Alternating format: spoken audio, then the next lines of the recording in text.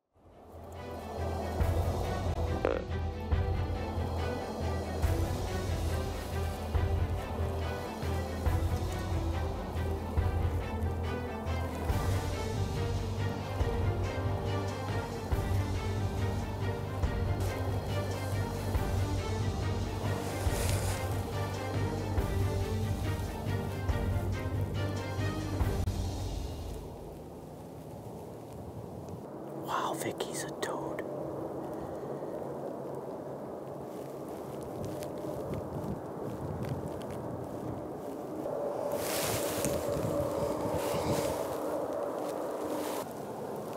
Ah, she's going out.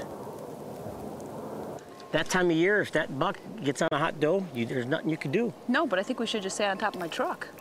He was right there, never came closer. Now he's looking this way.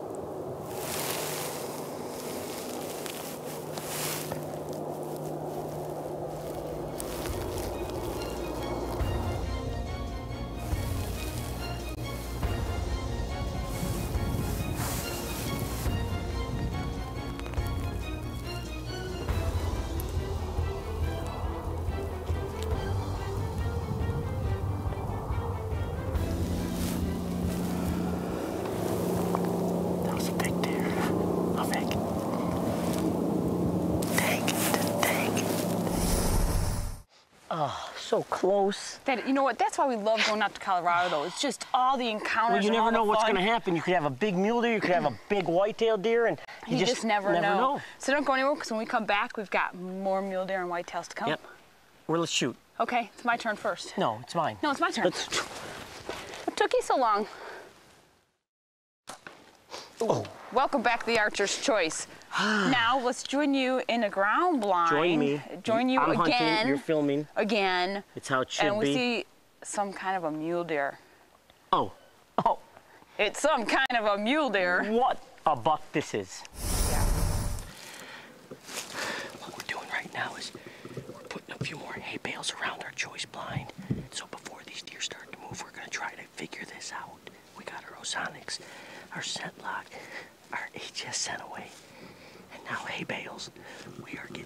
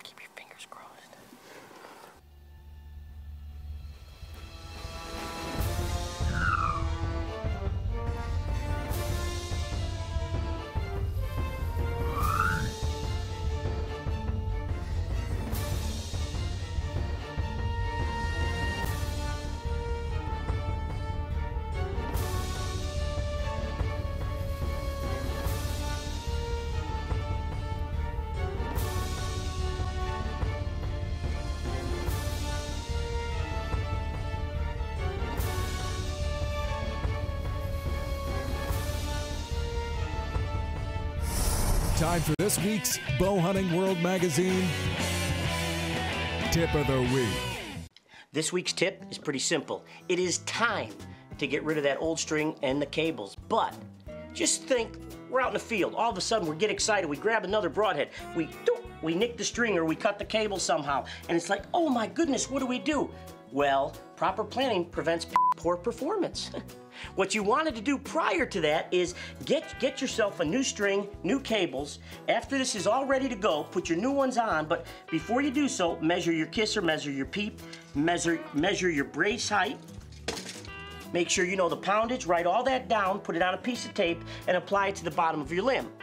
Now you have everything set, so when you do put the new string, the new cables on, and everything is adjusted correctly, guess what? You are on target way faster, and you ain't losing no hunting time. That is your bow hunting world tip of the week.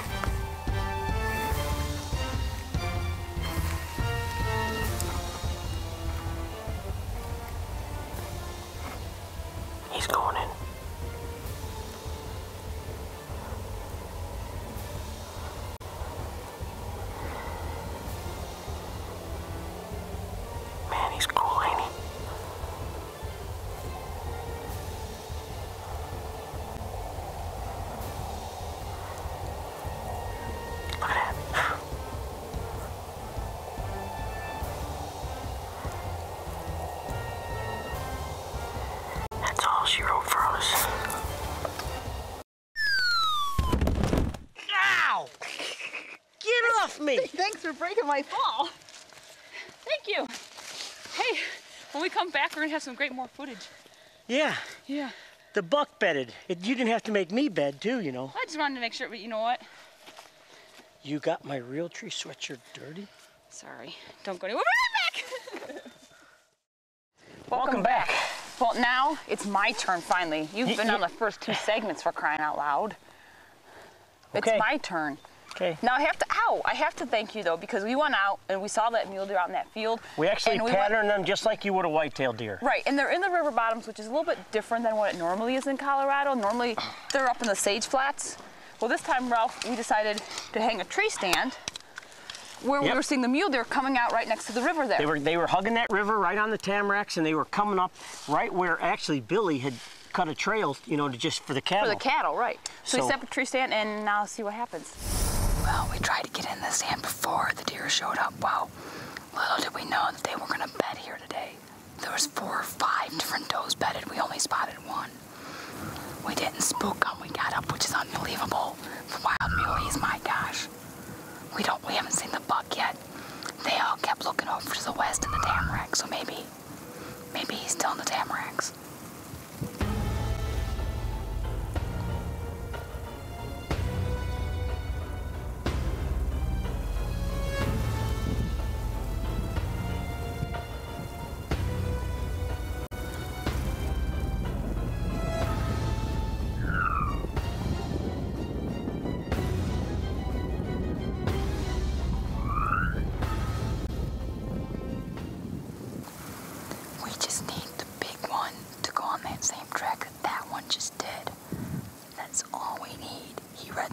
The script.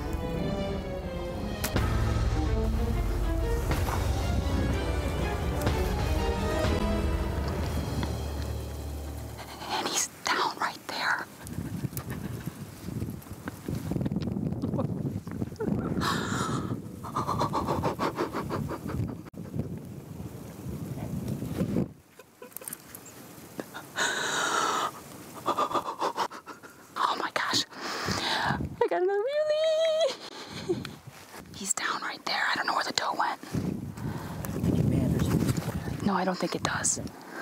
Hey, honey. Yeah, Thanks. you go, girl. Thanks for sticking it out with me. That's the second muley I've ever shot. He's down. He's right there. He was so hot on that doe, he didn't know what hit him. He was standing over here. My arrow. Oh, that's a good looking arrow. He wasn't going to go much further on that at all. Oh, Lord.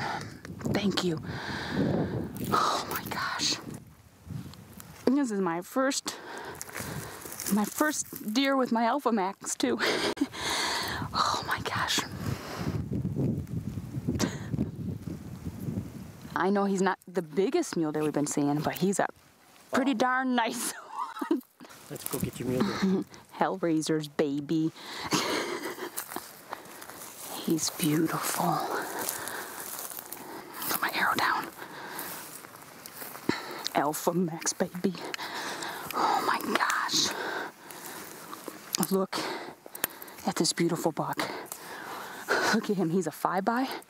Look at how big he was. He didn't want anything to do, but he wanted that girl. That was it. He didn't care what I was there. I can't say enough. How about that one? Hey, huh? that was cool, huh? It was cool. I mean, t- for us to actually get up in the tree with those does bedded there. They were all bedded and there, for and him to come like, out and give me that shot, that was really cool.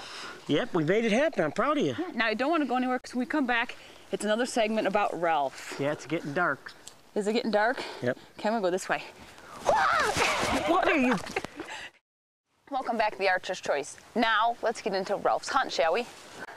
So this is how it looks with these dark glasses on, huh? Why do you have dark glasses on? I'm trying to see what you saw. I saw a deer.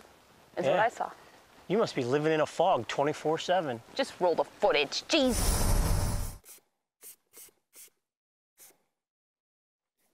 Well, we're back into our mule deer choice blind setup. We know there's a few shooter mule deer coming out here, a few shooter whitetails.